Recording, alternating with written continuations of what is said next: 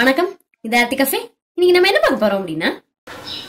Hi friends good morning ரொம்ப நாளைக்கு அப்புறம் மெனு வீடியோவில் வந்து நம்ம மீட் பண்ணுறோம் ஸோ என்ன நான் ரெடி பண்ணி வச்சுருக்கேன்? இன்றைக்கி என்ன எங்கள் வீட்டில் சமையல் அப்படிங்கிறத வந்து நான் உங்களோட ஷேர் பண்ணுறேன் ஸோ இன்றைக்கி வந்து காலம்புரை பார்த்தீங்க அப்படின்னா திணை பொங்கல். அதுக்கு சைட் டிஷ் வந்து தேங்காய் சட்னி. மத்தியானம் லஞ்சுக்கு வந்து கல்யாண கறி அப்படின்னு சொல்லுவோம் அதை நார்மலாக ஏன் அப்படின்னா நிறைய கல்யாணங்களில் வந்து பீன்ஸு கேரட்டு கோஸு அதே மாதிரி பட்டாணி போட்டு ஒரு தேங்காய் போட்ட பொரியல் பண்ணுவாங்க. ஸோ இன்றைக்கி அதுதான் எங்களுக்கு பொரியல். ஸோ பீன்ஸு கேரட்டு கோஸு எல்லாம் ரெடியாக இருக்குது பட்டாணி வந்து நான் ஊற வச்சுருக்கேன். இது வந்து ஆர்த்திக்கு ஸ்நாக்ஸுக்கு சுண்டலுக்கும் சேர்த்து ஊற வச்சுருக்கேன். அதனால் இது தனியாக வேக போட்டுடலாம் மற்ற மூணு காய்களையும் தனியாக வேக போட்டுடலாம் குக்கர்லேயே போட்டுருவேன் ஹை ஃப்ளேமில் ரெண்டு கை தண்ணி தெளிச்சுட்டு ஒரு ஒரு விசில் ஹை ஃப்ளேமில் ஒரு விசில் ஆஃப் பண்ணிட்டா தானே எல்லாம் சூப்பராக வந்துடும் மத்தியானம் ரைஸுக்கு வந்து ஊற வச்சாச்சு. பொரியலுக்கு வந்து தேங்காய் துருவி வச்சுருக்கு. ஆஸ் யூஷுவல் டிகாஷன் போட்டிருக்கேன். அதுக்கப்புறம் அந்த மத்தியானம் லஞ்சுக்கு என்ன அப்படின்னு பார்த்தீங்கன்னா சுண்டைக்காய் வத்த குழம்பு அந்த சுண்டைக்காய் புளிக்குழம்பு அப்படின்னு கூட சொல்லலாம். வெறும் புளி மட்டும் இல்லாமல் கொஞ்சம் தக்காளி வெங்காயம் போட்டு தான் இன்றைக்கி செய்ய போகிறேன் அதுக்கு சின்ன வெங்காயம் நிறைய எடுத்து வச்சுருக்கேன். புளி ஊற வச்சுருக்கேன். அடுப்பில் பார்த்தீங்க அப்படின்னா காலம்பர ரெஃப்ரெஷ்மெண்ட்டுக்கு நம்மளுடைய பெட்ரோல் ரெடி ஆகிட்டு இருக்கு. காஃபி போட போகிறேன் ஸோ பால் வச்சுருக்கேன். காஃபியை குடிச்சிட்டு சரி இன்னும் கொஞ்சம் விஷயங்கள் எல்லாம் ஆரம்பிச்சு வச்சுருவோம். அந்த பட்டாணியையும் காய்கறியும் வேக போட்டுருவோம். மத்தியானத்துக்கான ஒயிட் ரைஸ் ரெடி ஆயிடுச்சு. ஸோ பட்டாணியையும் வேக வச்சு எடுத்தாச்சு. இதில் வந்து நம்ம பொரியலுக்கு போக ஆர்த்திக்கு வந்து ஸ்நாக்ஸ் கொடுத்துடலாம். இதில் பார்த்தீங்க அப்படின்னா சின்ன வெங்காயத்தை டோட்டலாக நறுக்கி வச்சுருக்கேன். திணை எடுத்து வச்சுருக்கேன். நம்மளுடைய ஃபேமிலிக்கு ஏற்ற மாதிரி திணை அளவெல்லாம் நம்ம சூஸ் பண்ணுறது தான் இந்த மாதிரி சிறுதானியத்தை பொறுத்த வரைக்கும் நான் வந்து பொங்கலுக்கு எவ்வளவு எடுத்துக்கிறேனோ அதில் பாதி பங்கு பாசிப்பருப்பு எடுத்துக்கிறேன். அப்போ தான் டேஸ்ட்டும் கொஞ்சம் நல்லா இருக்கு. அதனால் வந்து பாசிப்பருப்பும் திணையும் தேவையான அளவுக்கு எடுத்து வச்சாச்சு. இப்போ நான் என்ன செய்யணும் அப்படின்னா லைட்டாக வானலியில் சூடு பண்ணி திணையை மட்டும் கொஞ்சம் வறுத்துட்டு அப்புறம் அதை களைஞ்சு ஊற வைக்கணும். களைஞ்சு அரிக்கணும் சிறுதானியத்தை. ஏன்னா கீழே மண் இருக்கலாம். ஸோ அது திணையை அதே மாதிரி லைட்டாக வறுத்துட்டு பாசிப்பருப்பும் வாசனை வர வரைக்கும் வறுத்துட்டு நம்ம வந்து களைஞ்சு ஊற வச்சுடுவோம். நியர்லி ஒரு ஒன் ஹவராவது அது ஊறட்டும் பொங்கலுக்கு. இந்த சைடு பார்த்தீங்க அப்படின்னா பொரியலுக்கு காய்கறி எல்லாமே வெந்தாச்சு. ஸோ கீழே வந்து பீன்ஸு நடுவில் கேரட்டு மேலே முட்டைக்கோஸ் போட்டிருக்கேன். இப்போ இந்த கலவை எல்லாத்தையுமே நம்ம வானலியில் தாளித்து போட்டுட்டு கலவையிலேருந்து நான் வந்து ஒரு ஒரு கையாக இவ்வளோ இவ்வளோ க காய்கறிகளை வந்து எடுத்து வச்சிடுவேன் ஏன் அப்படின்னா ஆர்த்திக்கு வந்து இன்னைக்கு வெஜிடபிள் ரைஸ் தான் கொடுக்க போகிறேன் ஸோ இது வந்து டோட்டலாக வெந்த காய்கறி தான். அதனால நம்ம வெங்காயத்தை ஆர்த்தியுடைய ஃப்ரைட் ரைஸுக்கு வெங்காயத்தை வந்து அழகாக மெல்லிசாக நெய்யில் ஃப்ரை பண்ணிவிட்டு இந்த காய்கறிகளையும் போட்டு ஒரு பரட்டு பரட்டி சாதம் போட்டு கொடுத்துட்டோம் அப்படின்னா ரொம்ப பிடிக்கும் அவளுக்கு அதை சாப்பிட்டுக்குவா. ஸோ நம்ம வந்து பொரியலை தாளிப்போம். பொங்கலுக்கு தேவையானதெல்லாம் ரெடி பண்ணுவோம். அதே சமயத்தில் வத்த குழம்புக்கும் அப்படியே பண்ணிகிட்டே இருக்கலாம். ஆர்த்தி ரைஸுக்கு தேவையான ஒரு கப்பு காய்கறி கலந்த காய்கறி எடுத்து வச்சுட்டேன். பாக்கி எல்லாத்தையும் தாளிச்சிட்டேன். வந்து கடுகு வரமிளகா மஞ்சப்பொடி அதெல்லாம் போட்டு காய்கறி தாளிச்சாச்சு. ஸோ இப்போ அதில் தேங்காவை போட்டு கிளறணும் அப்படின்னா நம்மளுடைய கல்யாண பொரியல் ஃபென்டாஸ்டிக்காக ரெடி ஆகிடும் நல்ல சத்தானது. பொரியல் வந்து எப்போதுமே நான் ஆல்ரெடி உங்களுக்கு டிஸ்கஸ் பண்ண மாதிரி தான் நிறைய தான் இருக்கும். எப்போ ஈவன் எங்கள் வீட்டில் அவர் வந்து ஒரு கப்பு ரெண்டு கப் தனியாக கூட சாப்பிடுவார். அதனால் பொரியல் எப்போதுமே குவான்டிட்டி ஜாஸ்தி தான். ஸோ சைடில் பார்த்தீங்க அப்படின்னா வத்த குழம்புக்கு வந்து வானொலி வச்சுருக்கேன். அந்த வானொலியில் எதை வதக்க போகிறேன் முதல்ல அப்படின்னா சின்ன வெங்காயம். அந்த சின்ன வெங்காயம் எடுத்து வச்சுருந்ததை ரெண்டாக பிரிச்சிருக்கேன். ஒரு பகுதியில் வந்து ஒரு நாலு பல் பூண்டு இன்னொரு பகுதி அப்படியே வெறும் வெங்காயம். அந்த வெறும் வெங்காயத்தை தான் நான் போட்டு வதக்க போகிறேன் ஸோ அந்த வெங்காயத்தை வதக்கிட்டு வதங்கினதுக்கப்புறமா அந்த ரெண்டு தக்காளியையும் நறுக்கி வதக்கிடலாம். ஸோ அது அந்த தக்காளி வெங்காயம் வந்து அரைக்கிறதுக்காக. குழம்போட குவான்டிட்டி வந்து நிறையா கொடுக்கும். ஸோ அதனால் அந்த வதக்கிறதுக்கு போட்டிருக்க வெங்காயத்தையும் இந்த தக்காளியையும் போட்டு நல்லா அரைச்சி வச்சிடலாம். ரெண்டையும் வதக்குனதுக்கப்புறமா சைடில் பார்த்தீங்க அப்படின்னா ஆர்த்தியினுடைய ஸ்நாக்ஸுக்கு சுண்டல் தாளிச்சாச்சு. ஸோ இதை ஆஃப் பண்ணிவிடுவோம் இப்போ வந்து நான் இந்த வெங்காயம் வதங்கி தக்காளியையும் வதக்கிட்டு நான் உங்களுக்கு காமிக்கிறேன். பொரியலும் ரெடி ஆயிடுச்சு. தக்காளி வெங்காயம் வதக்குனால குழம்புக்கு அது ஆறிடுச்சு. இந்த மிக்சியில் போட்டு ஊட்டிடுவோம். அதே வானலியில் நான் வந்து நல்லெண்ணெய் விட்டு கடுகு வெந்தயம் ஜீரகம் வரமிளகா கருவேப்பிலை தாளிச்சிருக்கேன். இந்த எண்ணெயில் நம்ம பாக்கி வச்சுருக்கக்கூடிய சின்ன வெங்காயம் பூண்டு அது எல்லாத்தையும் போட்டு நல்லா வதக்கிடுவோம்.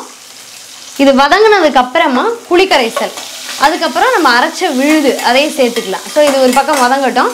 இங்கே ஆர்த்தியினுடைய லஞ்சுக்கு பார்த்தீங்க அப்படின்னா நெய்யில் ஒரு பெரிய வெங்காயத்தை மெல்லிசாக வ நறுக்கி வதக்கிட்டு இருக்கேன் ஸோ இது நல்லா கோல்டன் ஆகிடுச்சு இந்த ஸ்டேஜில் நம்ம எடுத்து வச்சுருக்கோம் இல்லையா இந்த காய்கறியை சேர்த்துடலாம். சேர்த்து கொஞ்சம் ஹை ஃப்ளேமில் வதக்குவோம். இது வந்து நம்ம வேக வேண்டிய அவசியம் இல்லை. ஆல்ரெடி வெந்த காய்கறி தான். அதனால் ஒன்றும் பிரச்சனை இல்லை. ஸோ இது நல்லா ஹை ஃப்ளேமில் வச்சு லைட்டாக அந்த ட்ரை ஆனதுக்கப்புறமா தேவையான அளவுக்கு உப்பு அதெல்லாம் போட்டுக்கலாம். இதுக்கு வந்து நான் பெப்பர் தான் போட போகிறேன் ஸோ அதனால் காரத்துக்கு ஒன்றும் கிடையாது. உப்பு மட்டும் போட்டு சாதத்தை போட்டு கிளறி நம்ம வந்து பெப்பர் தூவிக்கலாம்.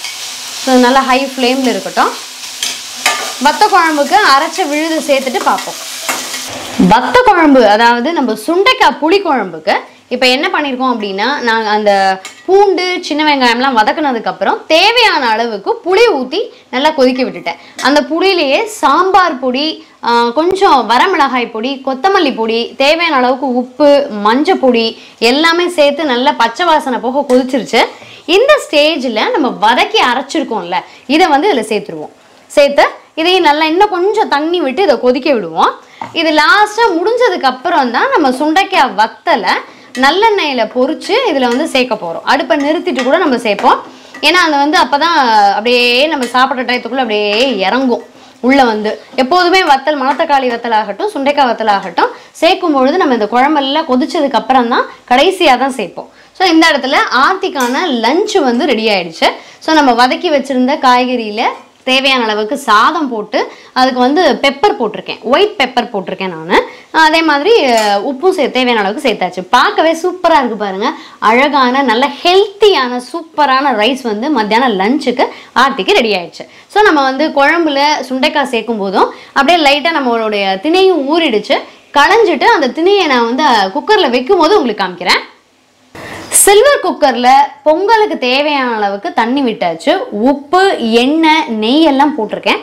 கொதிக்கும் போது நம்ம டோட்டலாக தண்ணி வடித்து வச்ச தினையையும் பாசிப்பருப்பையும் இதில் போட்டுடலாம் ஸோ எவ்வளவு அளவு தண்ணி அப்படின்னு பார்த்தீங்கன்னா பாசிப்பருப்பு தினையும் சேர்த்த அளவுக்கு ஒரு மூன்றரை பங்கு தண்ணி வச்சோம் அப்படின்னா பொங்கலுக்கு வந்து கரெக்டாக இருக்கும். ஸோ அது கொதிக்கும் போது நம்ம வந்து இதை அப்படியே ட்ரான்ஸ்ஃபர் பண்ணிடுவோம்.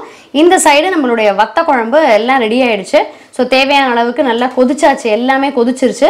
இதை வந்து நான் ஆஃப் பண்ணிடுறேன். ஆஃப் பண்ணதுக்கப்புறமா நம்ம வந்து சுண்டைக்காய் வத்தலை பொறிச்சு இதில் சேர்த்துற வேண்டியதுதான். ஸோ இந்த பொங்கலும் வேகிற சமயத்தில் நம்ம வந்து தேங்காய் சட்னியை அரைச்சி வச்சிடலாம்.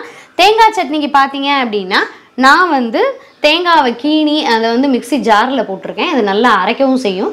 சின்ன ஜாரில் போட்டுக்கும் போது நல்லா அரைக்கும். ஸோ தேங்காய் கீனி இருக்குது அதில் வந்து பொட்டுக்கடலை பச்சை மிளகா கொஞ்சம் பெருங்காயம் போட்டிருக்கேன். உப்பும் சேர்த்து நம்ம அரைச்சிட்டோம் அப்படின்னா கெட்டியாக தேங்காய் சட்னி ரெடி ஆகும். ஆக்சுவலி பொங்கலுக்கு வந்து ரொம்ப கெட்டி சட்னியாக இருந்தது அப்படின்னா எங்கள் வீட்டில் கொஞ்சம் விரும்ப மாட்டாங்க. ஏன்னா பொங்கலே வந்து ஒரு சாலிடாக இருக்கும். ஸோ அதுக்கு வந்து கொஞ்சம் நீர்க்க இருந்தது அப்படின்னா சட்னி வந்து ரொம்ப சூப்பராகவே இருக்கும். ஸோ இடையில நம்ம சட்னியை ரெடி பண்ணிடுவோம். பொங்கலும் தாளிக்கும் போது நான் உங்களுக்கு காமிக்கிறேன். ஸோ சுண்டைக்காவை வந்து எப்போ சேர்க்கலாம் அப்படின்னா நான் இதை ஆஃப் பண்ணிடுறேன். ஆஃப் பண்ணிவிட்டு குழம்பு ஆஃப் பண்ணிவிட்டு நம்ம வந்து பொரிச்ச சுண்டைக்காவை அதில் சேர்த்துடலாம். சுண்டைக்காய் வந்து பொரிச்சு சேர்க்கும் போது உங்களுக்கு காமிக்கிறேன். வானலியில் நல்லெண்ணெய் விட்டு சுண்டைக்காய் வத்தலை வந்து நான் வறுத்துட்டு இருக்கேன். ஸோ இன்னும் கொஞ்சம் லைட்டாக அது கொஞ்சம் பிளாக் ஆகணும். அதை ஆஃப் பண்ணி நம்ம அப்படியே குழம்புல சேர்த்துடலாம். இந்த சைடு நம்ம பொங்கலுக்காக தாளிதத்துக்கு நெய் வச்சுருக்கேன். அந்த நெய்யில் வந்து நம்ம கொஞ்சம் கசக்கி வச்சுருக்க லைட்டாக ரெண்டு தட்டு தட்டி இருக்கக்கூடிய ஜீரகத்தையும் மிளகையும் சேர்த்துருவோம். ஸோ ஜீரகம் மிளகு சேர்த்தாச்சு. இது அப்படியே கொஞ்சம் அப்படியே பொங்கி வரட்டும். இந்த சைடு நம்மளுடைய பொங்கல் பார்த்தீங்க அப்படின்னா சூப்பராக ரெடி ஆயிடுச்சு. அந்த திணை பொங்கல் நல்லா இப்படி தான் பார்க்கறதுக்கு வந்து உங்களுக்கு கொஞ்சம் வாட்டரியாக இருக்கும். ஸோ இதை வந்து தாளிதம் செஞ்சு நல்லா கலக்கி விட்டுட்டு சூடாக சாப்பிடணும் அப்படியே. ஸோ அந்த கலக்கி விடும்பொழுது உங்களுக்கு அப்படியே கொஞ்சம் மசிஞ்சிரும். ஸோ நம்ம தாளிச்சிட்டு இதை கலக்குவோம். இதனுடைய சைட் டிஷ்ஷான தேங்காய் சட்னி சூப்பராக ரெடி ஆயிடுச்சு. தாளிச்சாச்சு. செம காம்பினேஷன் திணைப்பொங்கலும் தேங்காய் சட்னியும். ஸோ இந்த நெய்யை வந்து தாளிச்சு கொட்டிட்டு கலக்கிட்டு கட்ட கடைசியாக இப்போ நம்ம வந்து டிஸ்பிளேல பார்ப்போம். ஸோ இன்னைக்கு என்ன மெனு எல்லாம் ரெடி ஆயிடுச்சு. மத்தியானம் லஞ்சுக்கு சுண்டைக்காய் வத்தல் போட்ட புளிக்குழம்பு ஒயிட் ரைஸ் ரெடியாக இருக்கு. பிரேக்ஃபாஸ்ட்டுக்கு என்ன அப்படின்னு பார்த்தீங்கன்னா திணை பொங்கல் நல்லா சூடாக இருக்கு. வித் செம்ம சூப்பரான டேஸ்டியான தேங்காய் சட்னி. மத்தியானம் பொரியல் வந்து கல்யாண பொரியல். கோஸு கேரட்டு பீன்ஸு பட்டாணி போட்ட தேங்காய் பொரியல். ஆர்த்திக்கு லஞ்சுக்கு வந்து ஃப்ரைட் ரைஸு ஆல்ரெடி நான் உங்களுக்கு எப்படி செய்யறதுன்னு காமிச்சிட்டேன். வித் அவளுடைய பட்டாணி சுண்டல் ஸ்நாக்ஸோட ஸோ இன்னைக்கு எங்களுடைய சமையல் இப்படி தாங்க முடிஞ்சது. இனி ஒரு நல்ல வீடியோவில் சந்திக்கலாம். தேங்க்யூ